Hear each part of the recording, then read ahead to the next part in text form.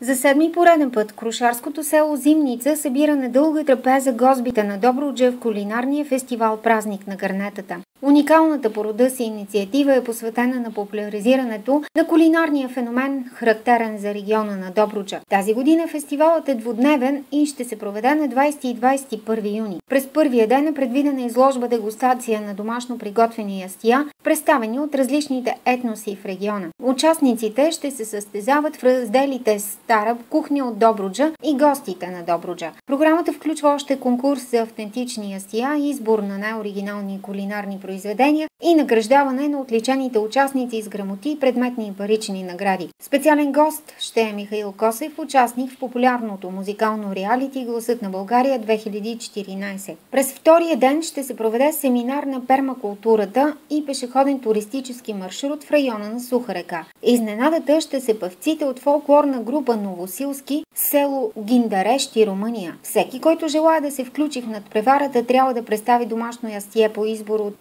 категориите основни ястия, супи и чорби, десерти, салати, тестени изделия, варива и други. В зависимост от спецификата на приготовление, блюдата задължително трябва да бъдат поднесени в глинено гърне, тава или чувен, което се оценява от журито.